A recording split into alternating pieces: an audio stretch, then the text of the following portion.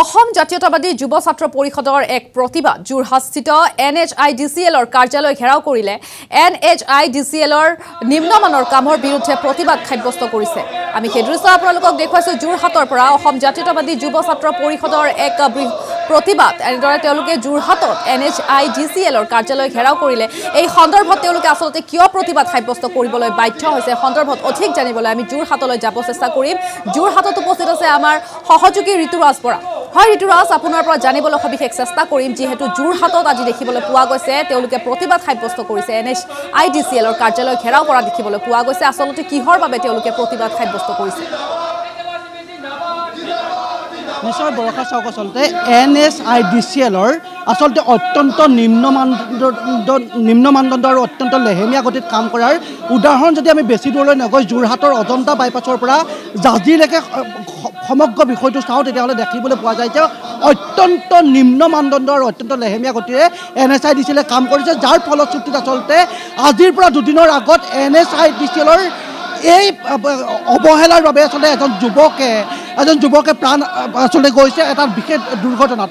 যোৰহাটৰ অজন্তা বাইপাছৰ সমীপত। এনেধৰণে আচলতে এইটো এটা উদাহৰণ। যোৰহাটত এন আই ডি চিলৰ এনে অত্যন্ত অত- নিম্ন মানদণ্ডৰ কামৰ বাবে বিভিন্ন সময়ত বিভিন্ন দুৰ্ঘটনা সংঘটিত হৈ আহিছে। আৰু বৰ্তমান মই N H I D C এলৰ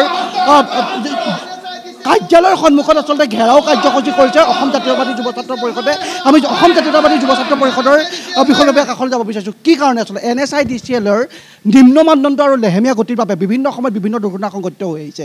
আৰু আপোনালোকে আজি আচলতে N H I D C এলৰ কাৰ্যালয় ঘেৰাও কৰিবলৈ বাধ্য হৈছে। হয় ইতিমধ্যে আপোনালোকে ইতিমধ্যে জ্ঞাত যে N H I D C I যি সাতটা বছৰে আমাৰ যোৰহাটৰ পৰা জাজিলৈকে প্ৰায় সাতত্ৰিছ কিলোমিটাৰ পথ নিৰ্মাণৰ কাম তেওঁলোকে আৰম্ভ কৰি আজি পৰ্যন্ত তেওঁলোকে কাম সম্পূৰ্ণ কৰা নাই। তাৰ বিপৰীতে তেওঁলোকে বিসংগতিৰে কাম নিম্নমানৰ কাম তেওঁলোকে কৰিছে যাৰ ফলত N H I D C L হত্যাকাৰীত পৰিণত হৈছে চুইটি কনষ্ট্ৰাকশ্যন হত্যাকাৰীলৈ ৰূপান্তৰিত হৈছে।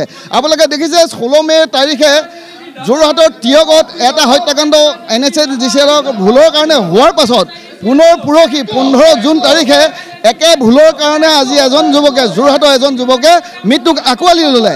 N H I D C এলে কোনো ড্ৰেইনেজৰ ব্যৱস্থা নাই কোনো ছাইডৰ ছিগনেলৰ ব্যৱস্থা নাই।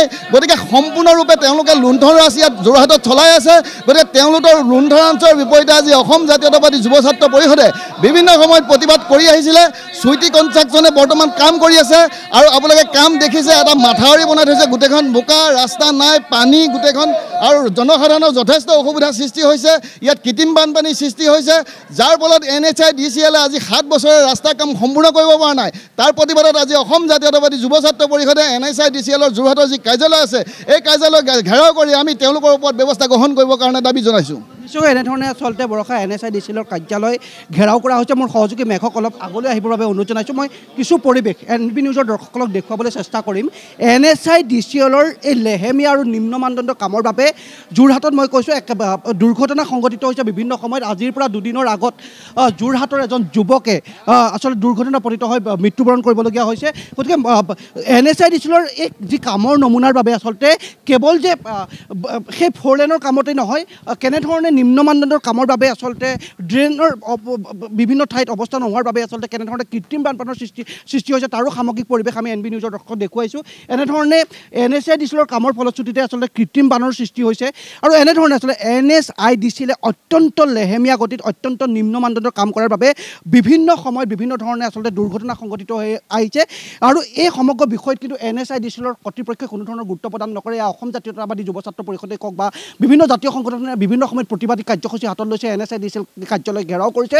তাৰ পিছতো কিন্তু এন এছ আই ডি চিলৰ কৰ্তৃপক্ষৰ কোনো ধৰণৰ কিন্তু গুৰুত্ব প্ৰদান কৰা দেখিবলৈ পোৱা নাযায়। বিগত আঠটা বছৰে এন এছ আই ডি চিলে অত্যন্ত লেহেমীয়া গতিত আৰু অত্যন্ত নিম্ন মানদণ্ডৰ কাম কাম কৰাৰ ফলতে আচলতে এনেধৰণে বিভিন্ন সময়ত বিভিন্ন দুৰ্ঘটনা সংঘটিত হৈ গৈছে। যোৰহাটত আজিৰ পৰা দুদিনৰ আগত প্ৰাঞ্জল প্ৰতিম বৰা নামৰ এজন যুৱকে কিন্তু প্ৰাণ তেওঁলোক দুৰ্ঘটনাত পতিত হৈ প্ৰাণ হানি হৈছে। এনেধৰণে কিন্তু বিভিন্ন সময়ত বিভিন্ন দুৰ্ঘটনা কিন্তু যোৰহাটত সংঘটিত হৈ হৈ আছে। আৰু বিগত আঠটা বছৰ যোৰহাটৰ অজন্তা বাইপাছৰ পৰা জাজিলৈকে এন এছ আই দিছিলে অত্যন্ত লেহেমীয়া গতিত আৰু অত্যন্ত নিম্ন মানদণ্ডত কাম কৰাৰ বাবে সাধাৰণ ৰাজ্যত বাৰুকৈ জোৰ হোৱা দেখিবলৈ পোৱা গৈছে বৰষা।